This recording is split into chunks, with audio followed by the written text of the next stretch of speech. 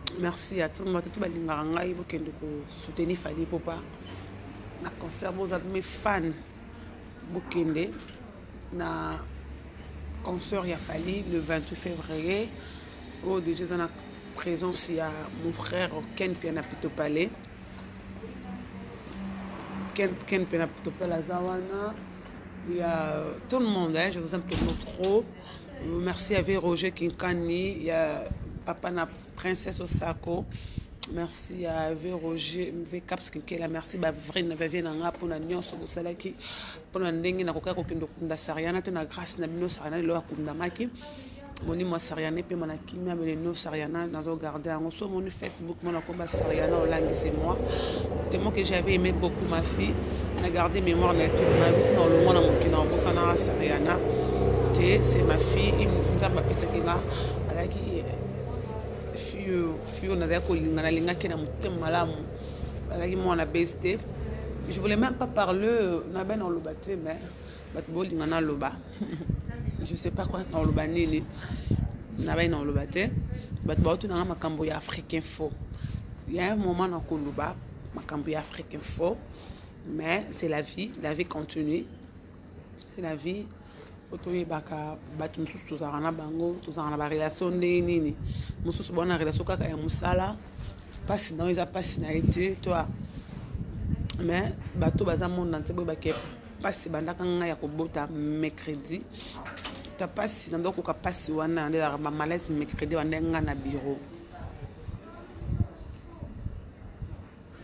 omoni euh, na biro bandaki ngai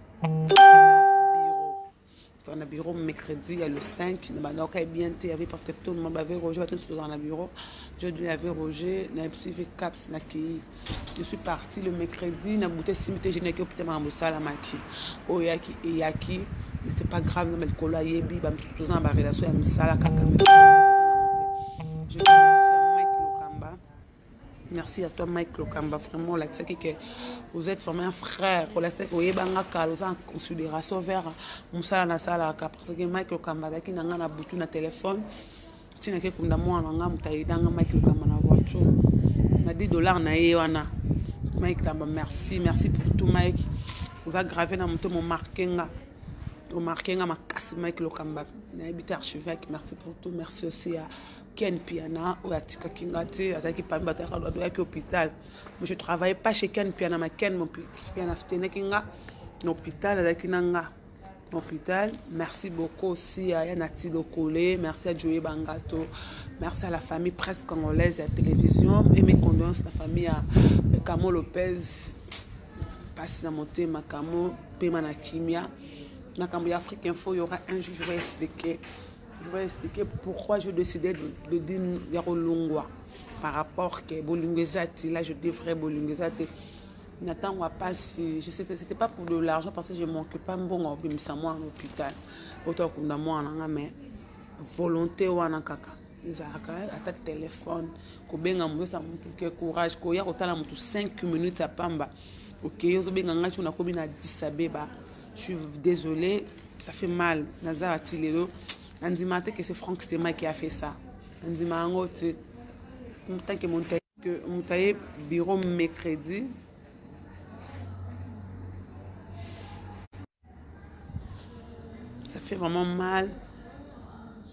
na te lalini je veux rien dire na olinga ata un jour vie na nga ado yue mtao ya mbanga dossier africain fo je vais expliquer affection ezalaka bien tolinganaka na baintérêt te ngai bato lelo batofinga nga je fais mobali na nga lelo na famille mobali na nga baza na kanda na nga je fais sept mois na zemi mpo mwana botami toi ezalaka so eleki déjà euh, six mois et demi déjà ekomaka sept mois Je faisais toujours mon travail, je venais na bureau na ba douleur na quoi na escalier.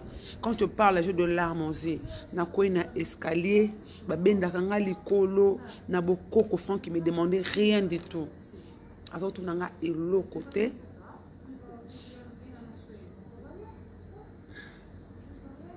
atuna nga eloko te nakwea na escalier nazobima mpo naya mosala bato mosusu babenganga bive nakoya te likolo mpasi nakoya balukeli nga bato bamasenga atuna nga eloko te le mercredi na bandi malaise na biro nalala na se nazobaluka nazoka libomo libumo mpasi libumo mpasi aleka ngai akesa emission na tango fort na biro wana nayesi bango na je suis parti Merci vie na kem tamema nga na voiture c'est Carlos Mujai. Merci beaucoup Carlos pour votre soutien. Na ke ndako na kokite na ke hôpital.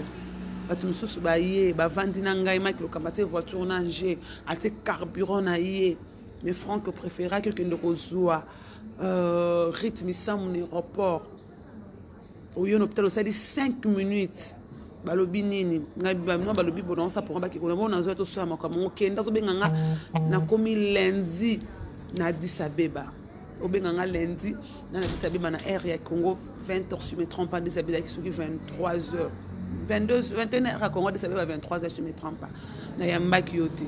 Nayambaki yo te pourquoi parce que j'étais vraiment dessus. Dans la vie, il faut être reconnaissante. Je suis une mauvaise fille, oui. Mais yebesika site na yo tobandaki nango na esika tokomi. Bato okozwa nsima na mosu okofaire souffrir bango kaka bongo. Nayoki mpasi mona na vino nayoka te. Bamike lokambo basalaka na ngai te. Baza bacollègue tosala bamike na bakongo elengi. bamaki bazangi kimia c'était pas pour de l'argent ata kobenga yaya boni yaya boni yaya boni otikala osala yango te frank c'est vraiment méchant omoni nazo barespect mine baefisant koloki babigloire ne parle mpe bayawuli moshine mais eza mpasi mingi si toi tu entre de regretter mais faut dire aux gens que osalaki mabe mwana mwasi mobimba j'ai exploité mon enfant banda 7 mois de venir chaque jour au travail chaque jour nazoya mosala nabeli lelo lobi na ye mosala naki hôpital bazongisinga mai mai lobi na ye bureau nazemi na mobali nanga mpo nanga chaque jour papa ya mwana wana mama ozoluka salaire yango ya combien franc afutaka yo oyo lelo okovanda na ndako na yo te abino nasala mpona ndenge ya mosala oke bamatanga banini mais obosani nyonso wana tu as tout oublié tu as tout oublié obosani nyonso obosani nyonso obosani bana nabelaki mercredi jeudi vendredi samedi oye vendredi hôpital 5 minutes oki ozwa rite misamu na aéroport ozobenga nga lundi na 20 heures naza nde na éthiopie nzambe ya likolo aza temoin nzambe ya likolo amoni koma na ndima ya kosala mosala na kati ya afrique info je tout donné na afrique info tu es conscient gloria oyo lelo na ngambo na ye na baferi ngambo na ye na fali pupa nga muna ya na ba wazekwa ba redi ya misi oyebi nga muna ya na ba mbozi wa mbozi na ya na ba choisi matata nga muna ya na ba plein de gens oyo oyebi boeranton j'ai amené plusieurs gens na kati ya afrique info na mabe na ngai mais aujourd'hui je me suis dit ça fait vraiment mal ça fait vraiment mal aujourd'hui j'ai perdu mon enfant ozalaki kutu moto oyo osolanga mposo wana eza poleka na etape wana okufela mwana bolingo yango ezalaki wapi quand tu dis quelque chose ma soeur je suis pas ta soeur je suis la soeur de ken piana je suis la soeur de mike lokamba tolongo wana afrique info ata kokoma mes condoléances te bozokoma mes compte na émission héritier asali naye na tilokole je suis informé à tout sauf rien Mais c'est pas grave, c'est pas la fin du monde. eza fin du monde te nzambe ya likolo aza témoin c'est pas grave c'est la famille mais nayebi te soki ozwa fi moko lokola nga nayebi te soki oengageaka motu lokola nga moto azalaka baremplisaka motu nyonso te c'est pas facile de remplacer gloria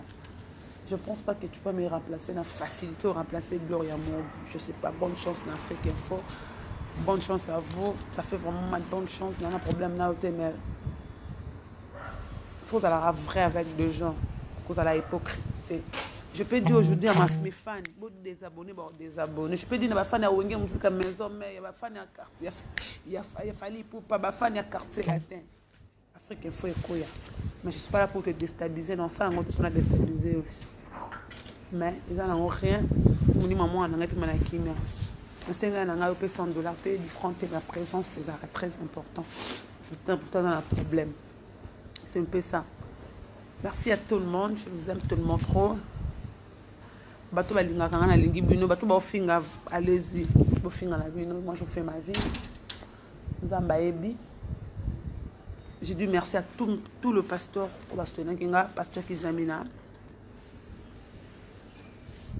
pasteur vicky mon pasteur pasteur euh, fabrice pasteur euh, eli euh, poko frère david euh, ex kojak merci à tout le monde bazalaki na ngai bana moto mpe nalingi bino mingi bamama nyonso ya monde entier batikaki gloglo na bango te bazalaki na ngai merci ya frère odo elwanga merci pour tes soutien ameli masuba kuta mabe mami samboyo euh, moputu dizo namonaki mpe ya chati Merci beaucoup à tout le monde. Maman Betty Amenaka, je vous aime. Maman Loris, merci vraiment, maman.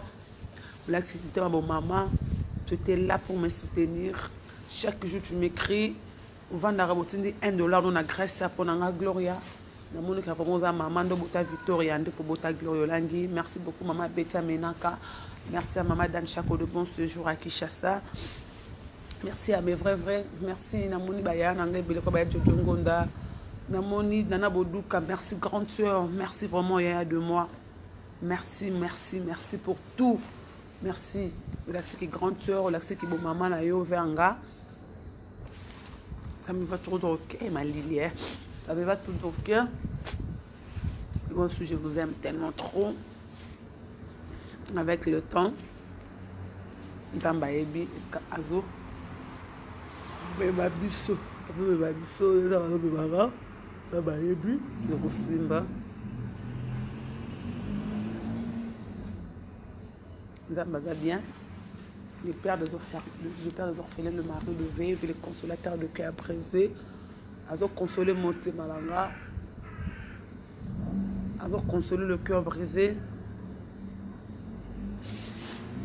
azosimba motema nanga na likambo oyo c'est pas facile de perdre un enfant oyo osimbi ye aleli bakei na ye na hôpital oyoki ke azopema azokende na hôpital apo baza koyela yo ebembe c'est pas facile que son âme repose un peu mon bébé je t'oublierai jamais bébé sariana la fille de son père et de sa mère napesi batata na nyonso mbote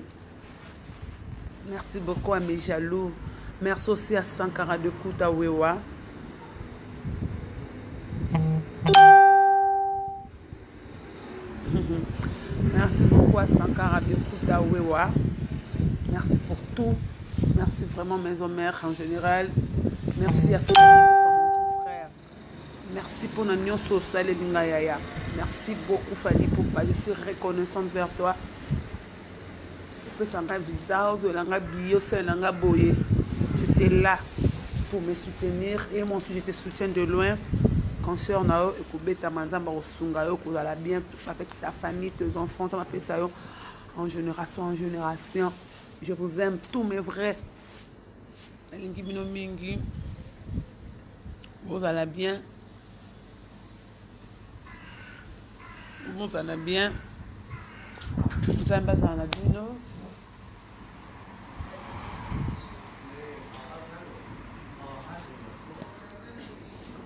minute eh, na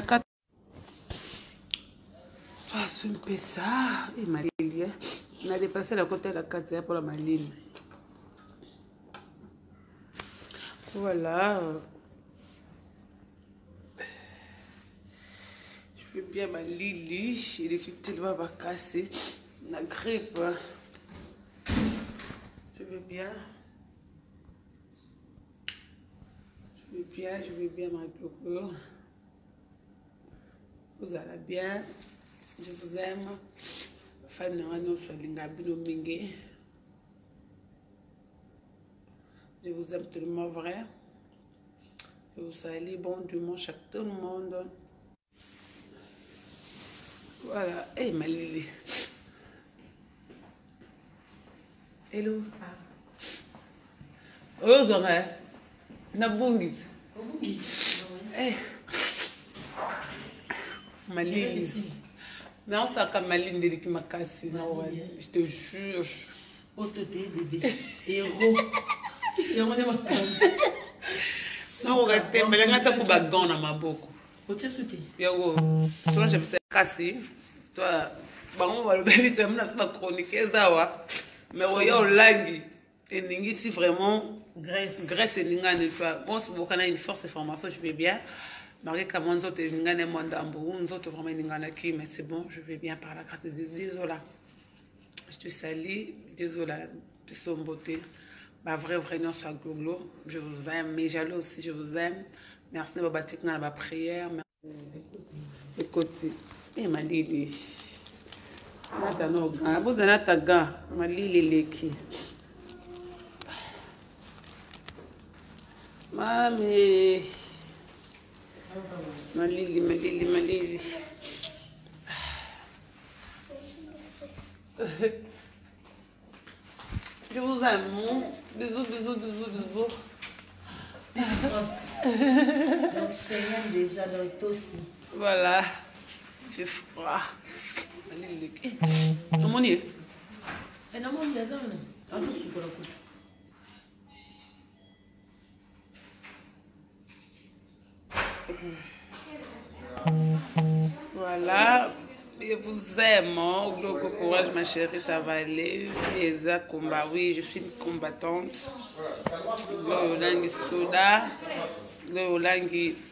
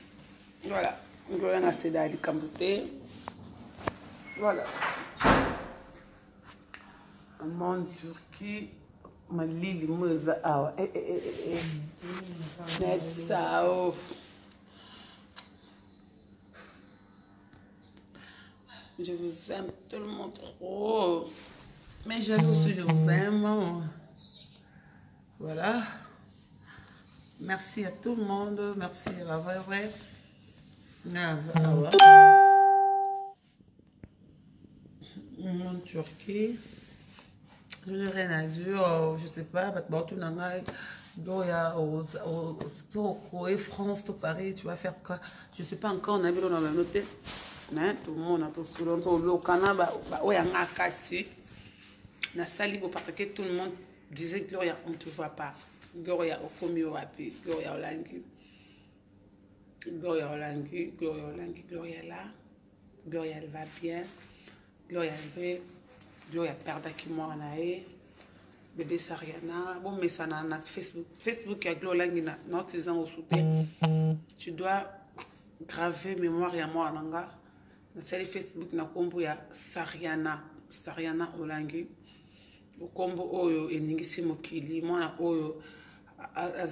événement des gens parlent de mon enfant titre partout sa photo des gens demandent son père des, gens voulaient connaître qui est mon enfant le père de mon enfant voilà c'est un enfant béni un enfant de Dieu un enfant vient de Dieu un enfant béni c'est une fille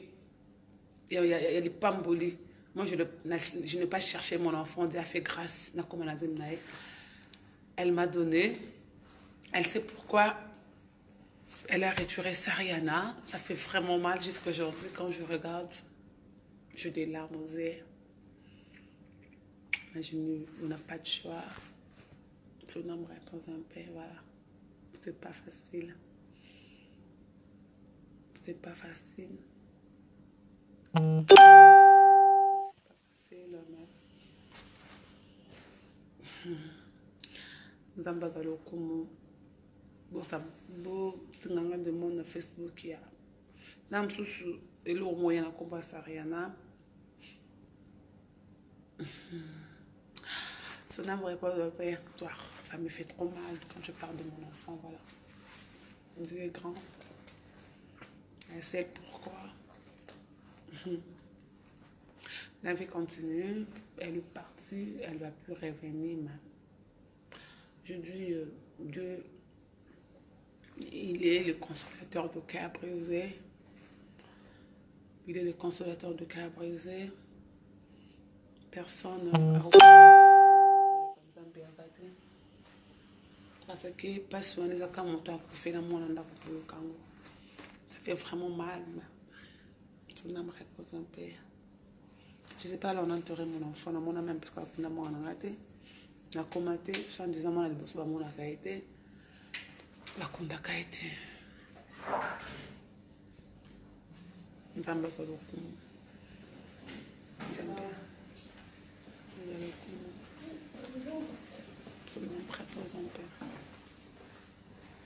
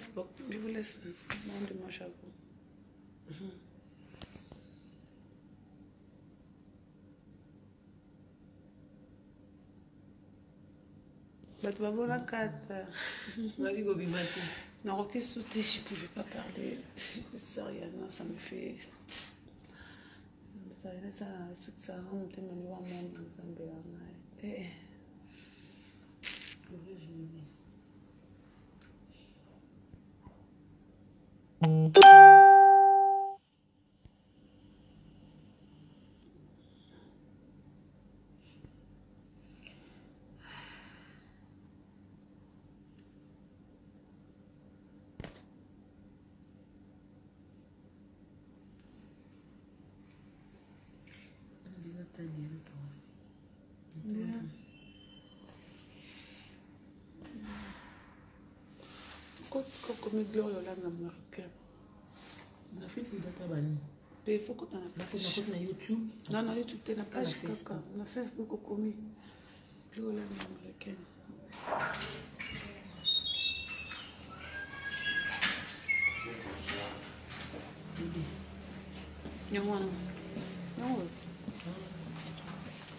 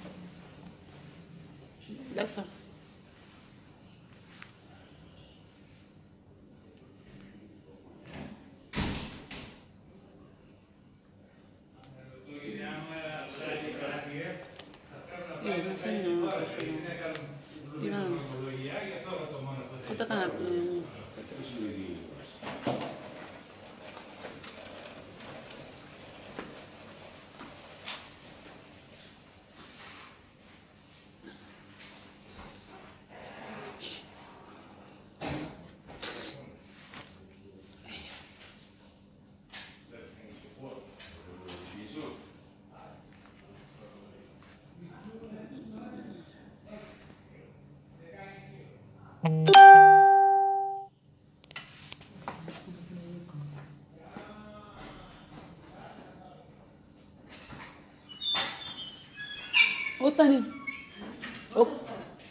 ah, ok d'accord merci maman Brigitte nanga merci beaucoup à toi merci baye yongo baye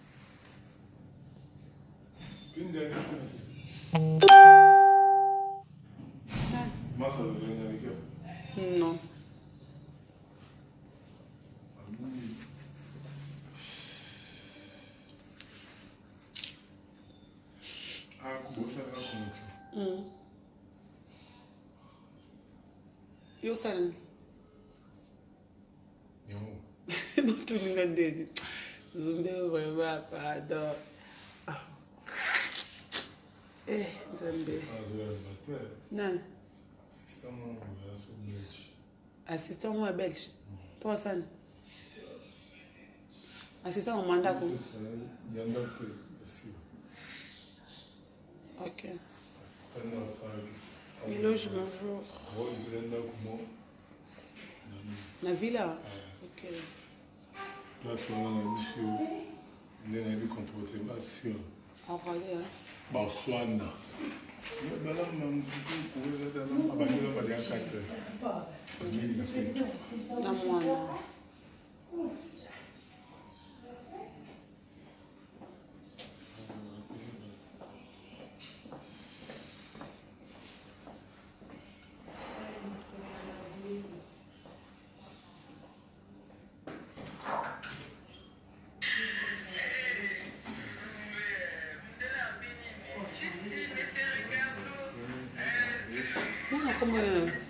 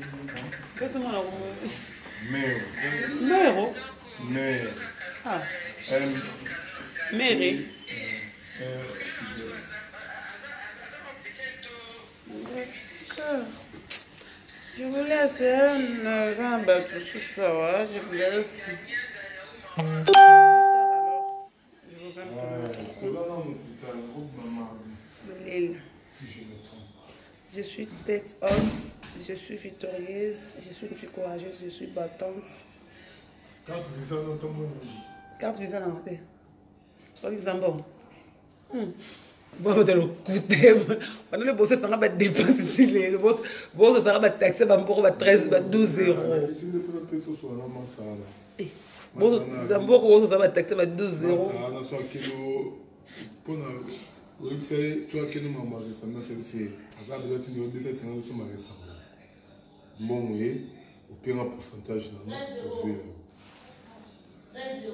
13 euro taxi. Eh, bwa mitema ya bino. 13 euro taxi partout na rappel. Sikoyo nga na Paris. nga aza na grèce bokomokofutaka bataxi ba 13 euro lokolo pete na ndimi le news de star ya le news ata yo moko wafuta nga taxi awa 13 euro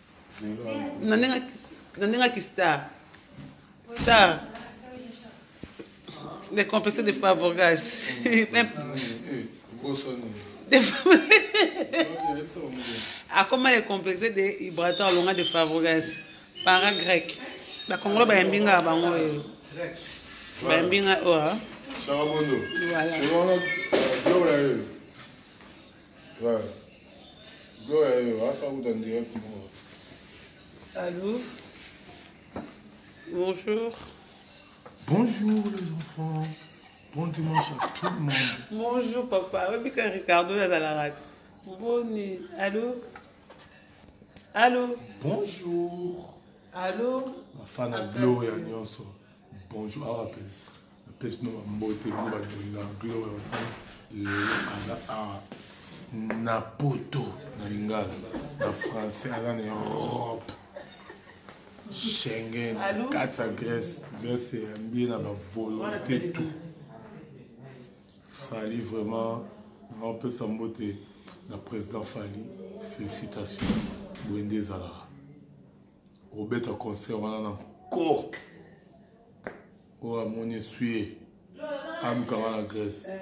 biso na grèce mambo wana ezalaka te ya bakombata ezalaka te abiso tosololaka osenga président fali président ibrator soki bobetibeti kuna boya sous grèce biso tozala Moi suis resident grec naza na bana awa na bota awa tout Allô Bonjour. Allô Naza bien. Ah, yambi sous téléphone. Zela na rappelé au côté audience, bapel et les kebele.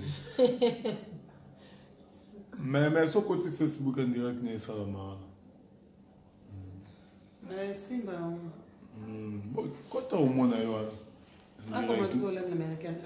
ngambo na simi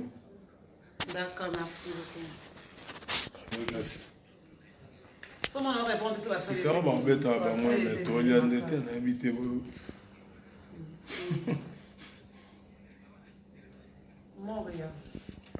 moto mwa moto mwa filme yango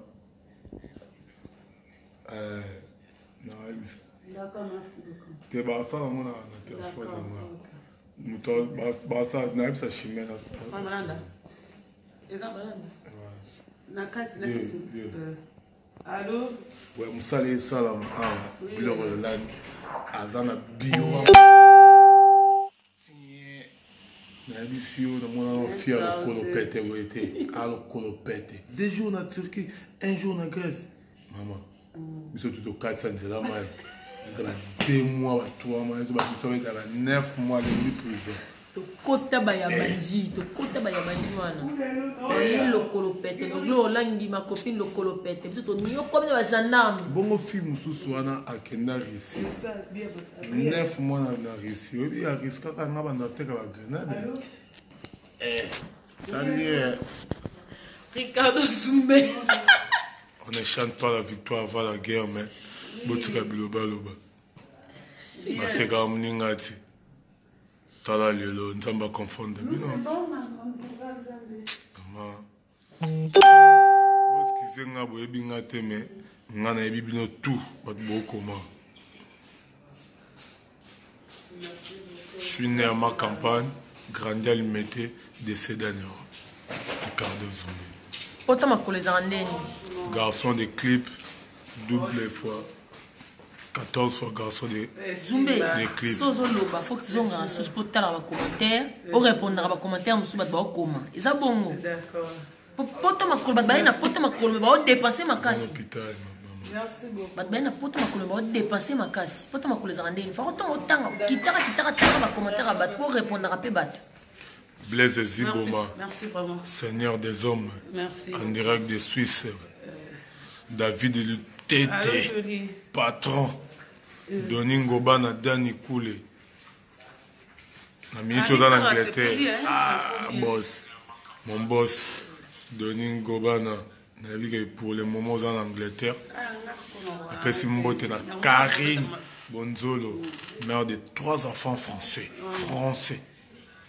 messi na mercel nabosani moko seki ah, mwana abotama kuna moya na yebe eza te euh, rodriguez kadima mesi le parolier dabikula ibaton piana nde makambo joli malanda charabondo na bwako na ndiraki ya guloro ya kota Pires bakoli, pires, pires bakoli. Kota fuma monana. Ok, j'ai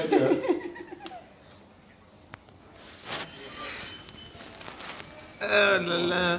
Euh, c'est la famille hein balinga baza ebele bato bayambi nga na grèce esalanga joli malanda nabwaki yo joli malanda joli malanda naozela 300 euro joli malanda nabwaki yo mona naozela 300 euro joli nanga tya main libre nayebi ye nabwaki yo direct naozela 300 euro nalobi ye naozela 300 euro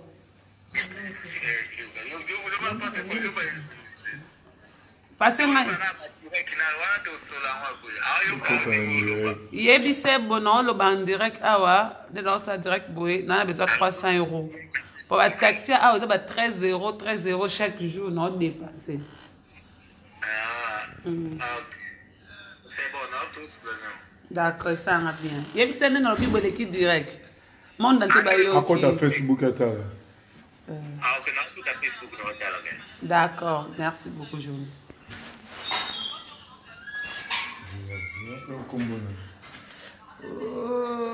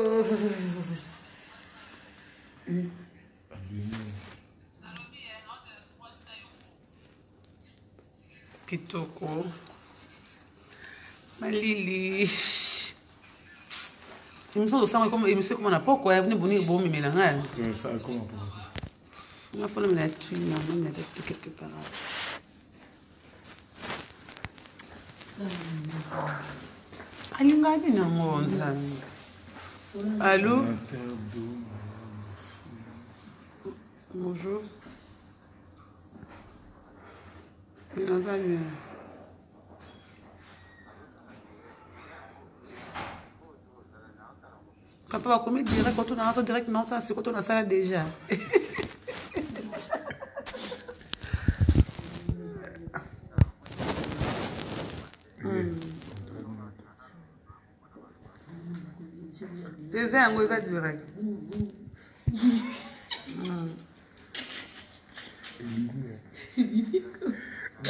merci beaucoup merci merci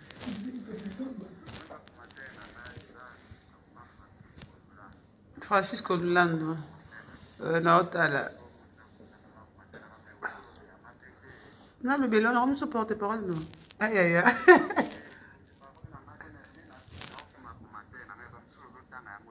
nga nazotanga na misusu d'accord naotanga mpe ayo koma sikoyo natanga kasi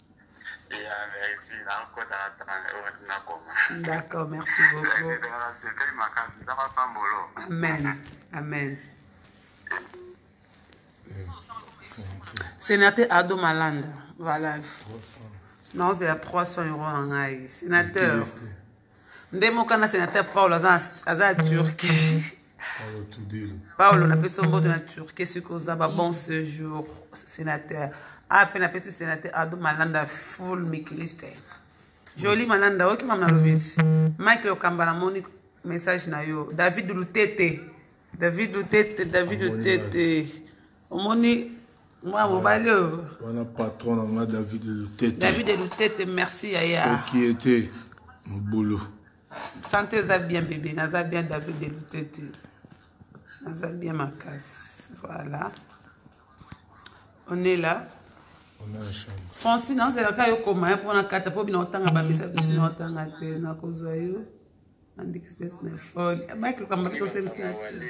Na téléphone. Mike c'est pas grave. Hein? Mais naza no libanda ti so bengi okutanga na na parc toza libanda ti ba ba bututi. Hmm. So bengi ozwa nga. Walo va dimanche to yakobeta tour. Na ndeko ba kongolo ba yambinga awa baza tellement belle bamusu bazoya. mwa réception moko mpo na gloire olangi baza eteme ebele voilà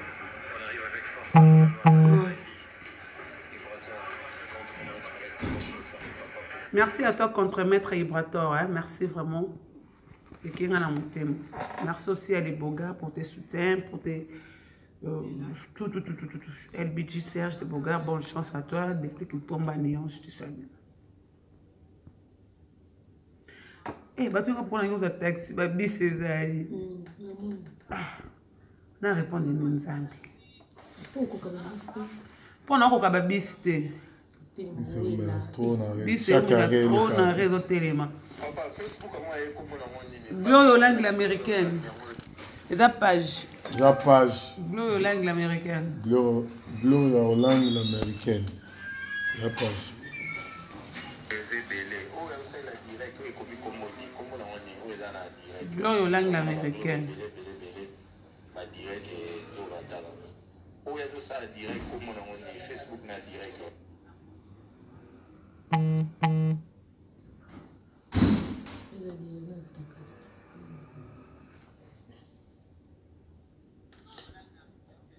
Oyo nayobi ya Gloria Olang.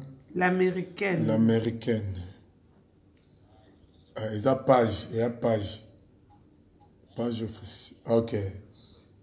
Bokota bomona ba makambo kuna te. Avant namona manager na wana sa mamona. Sino balepe, balepe baobeta te. Bapema nango. Eh, destino bilele akosombo te yaya obi na kanise momoka na bomo eza na talo maoni mama destino ve lelo vrma osepela merci na oyo nyonso osalaki wana yoyo caserole mm. ve nanga bestino bilele mm. elakisi gola mikiliste ntongo mm.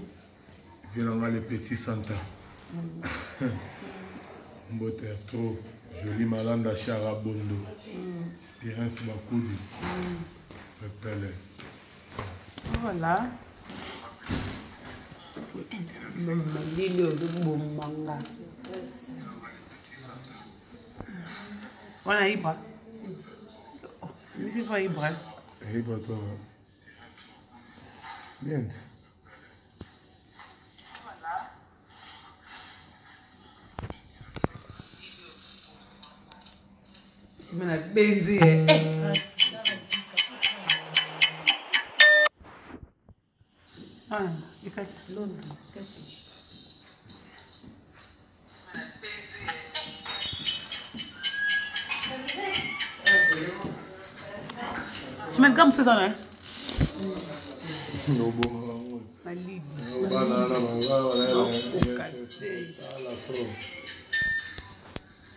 nazokoka te mama lori c'est la congolais ya maman clarisse etisali eh, nga mpe nana natya telefone na char e 32 pourcent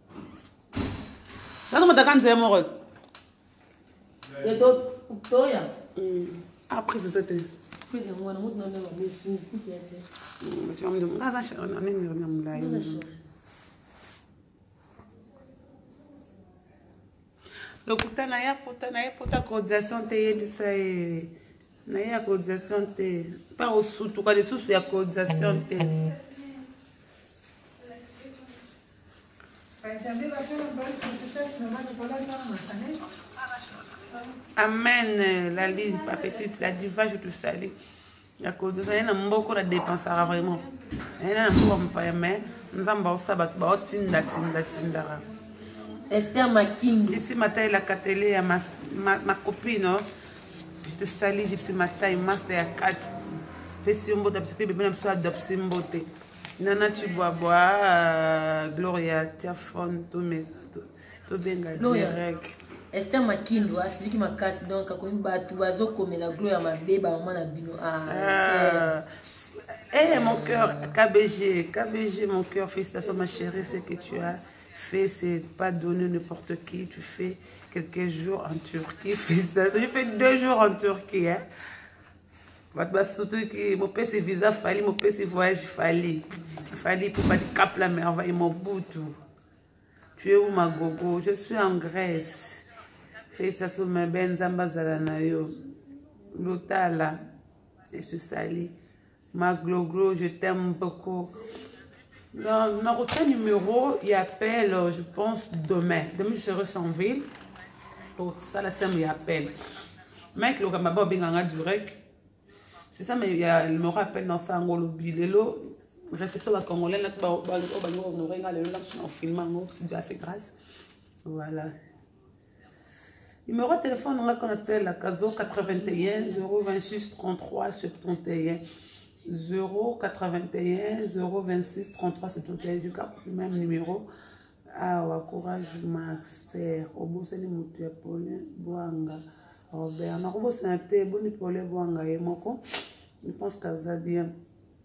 Kitoko hyper cool olangi gloria ricardo zumbe na sepeli eh, joli nga mpe na sepeli makasi yebisa kaka senateur nazozela 300 euro na ngai esala nga barbara koa na sala na ndenge ya kati Eh, courage Magdo Kosimba. Déjà estime, je suis la fille de la promesse qui meurt jamais. Euh, Sœur Seigneur t'accompagne ma belle.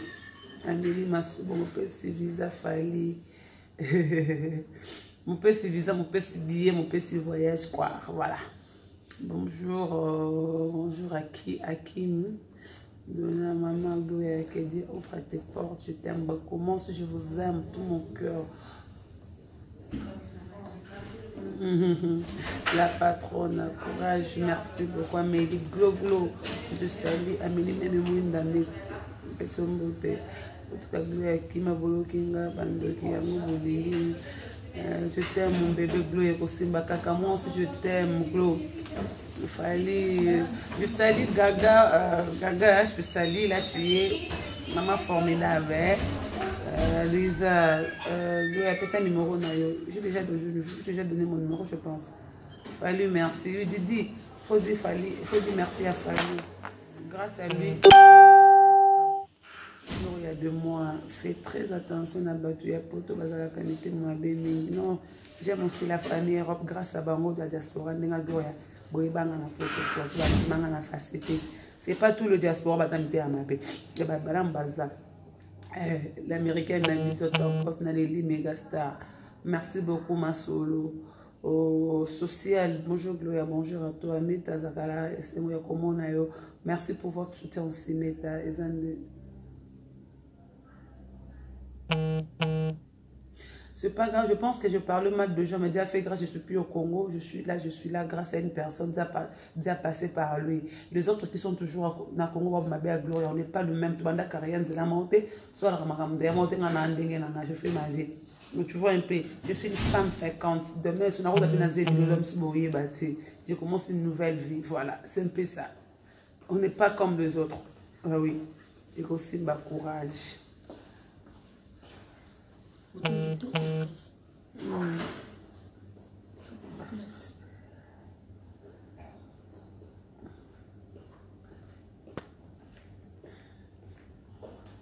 lokuta na be kenge felom nayebi ye avanda na yo mama nalingaka yo na ntina maglore moi mm, namoni yo direct voilà e eh, bato badozela nga na direct eh, kekeke poto ya kokotize te bako soki ba merci fali papa mobutu awiya ah ah. mama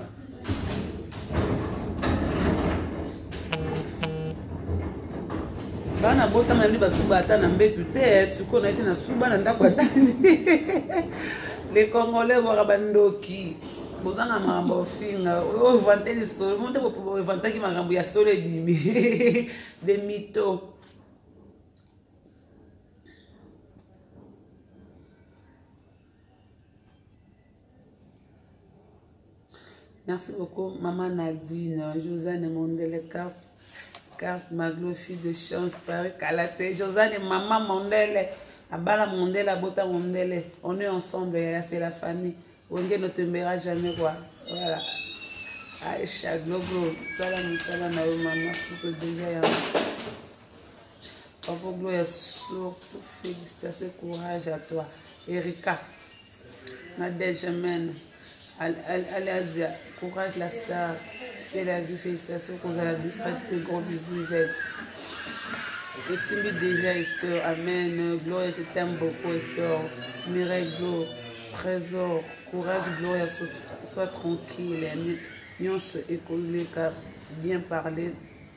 par la, bien par la grâce de Dieu sois forte fait feria glo glo courage gloria toi je te salue gloria glo glo oza mwana bilaka nzambe azalaka wi nalembi namona garçon pindi je te salue ya grâce na maboko quoi c'est bon par rapport à par nana kobeli nga déjà namoni joli c'est bon Ricardo Zumbi, après un commentaire pour nous. Ricardo Zumbi. Para grec.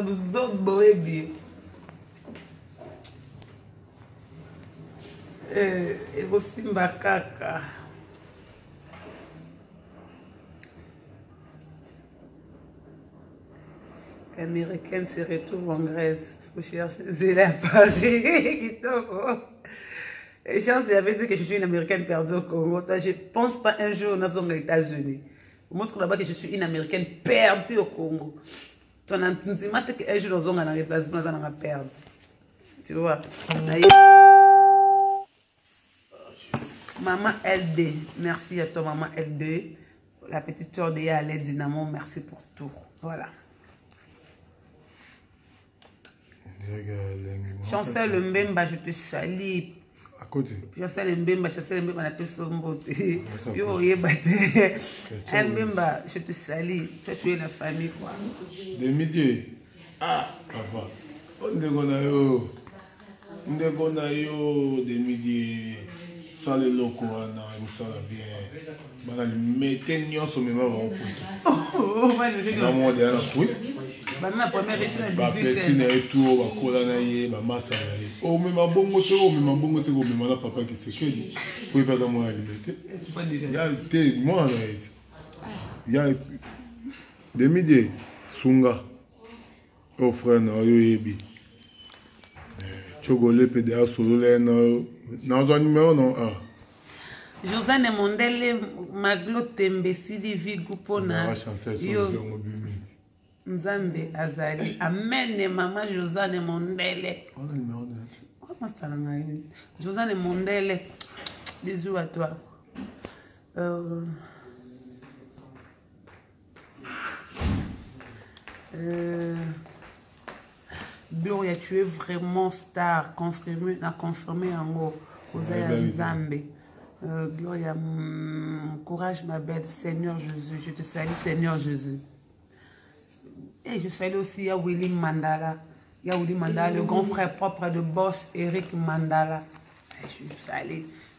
pesi bino mbote merci aussi à mon grand frère ma conseiller lui c'est ya fiston koloke zapata moi aussi je sali dj appel masqué en direct de brazzaville mm. Mm. simba fego la merveille dj virus eh, eh, ive eh, patrick ilanga debukiye ive njoli napesi bato nyonso safi nyonso ya fali pupa Rendez-vous le 28.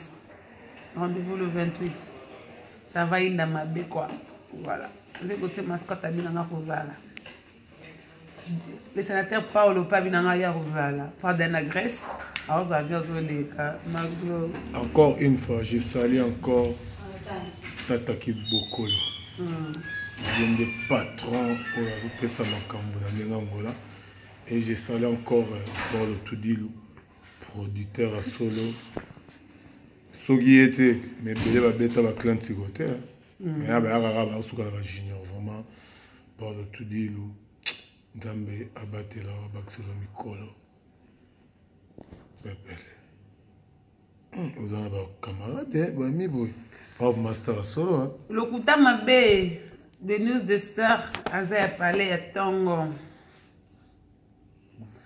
boloba eh, bato bafingaka bokota bokota na lokuta mabe les news de star page na biso ya sur lui c'est moi les news de star marie lor c'est la famille on est toujours soudés dès quand je parle pas c'est marie lor qui parle à ma place au oh, ah mike lokamba C'est pas Mike qui parle, c'est Ken Piala. Si c'est pas Ken, c'est les news des stars congolaises. Mais vieux Zoro, longola ba zéro. Eh, vieux Zoro, bakisela nga na ba zéro, vieux. Ah, vieux Zoro na ngai. Eh.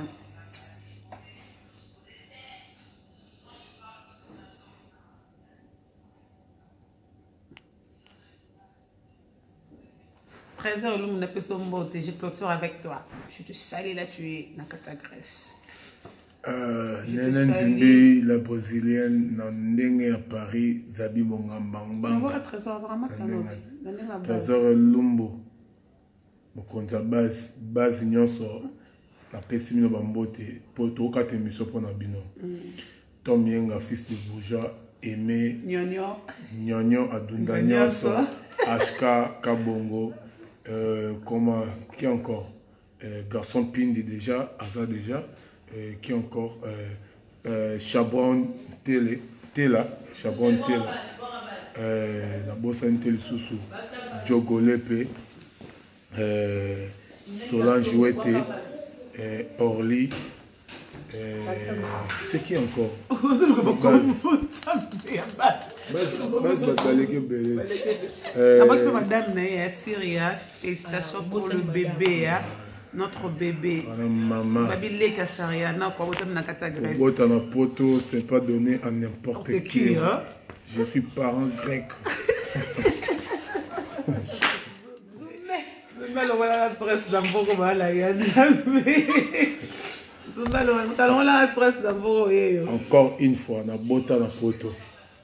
mpe na kobota na poto naza moluba inane mwana inane mwana inane mwana eh, doni ngobana babi babengana nga na ndako na grâce naona na balabala